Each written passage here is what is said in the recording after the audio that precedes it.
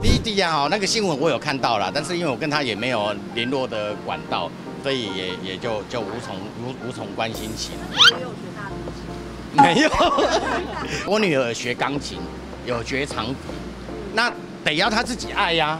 所以我跟我老婆讲说，你只要发现她有一点是被逼的，那就停止学习。这个乐器类的东西哦，是记忆哦，如果没有下苦功呢，是很难有什么样的成就的啦。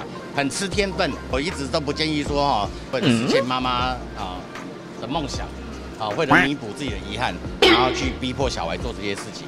除非小孩自己愿意啦，我其实我是都不太赞成这样这样子的做法。会不会觉得小孩子当天有点衰？因为那个影片我有看过啦，我觉得那是还蛮合理的访问内容啦。啊，他的讲话方式也都是蛮蛮符合一般主持人会有的反应方式。只是说，如果说断章取义的话，字字片语的话，单独啊把某一两句话啊列为标题的话，当然看起来会觉得嗯怎么这么奇怪啊？但是其实只要有看过影片内容的人都会发现，那是一个很普通不过的的一个访问内容。我觉得莉亚也反应最大。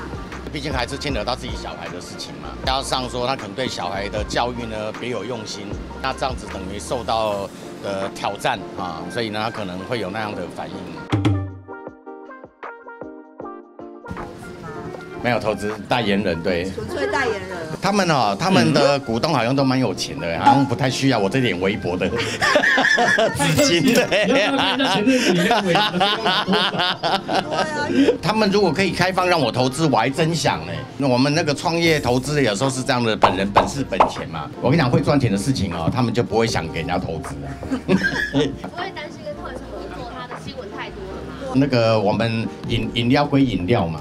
还有呢，人非圣贤，谁能无过啦？对不对？你偷一子，那为为什么会来找我？那这这就是原因呐，那就是因为他最近需要存钱嘛，要不然他自己来代言不就好了？对，这个我常讲哦，哪个伟人哦没有过去，哪个罪人哦没有未来。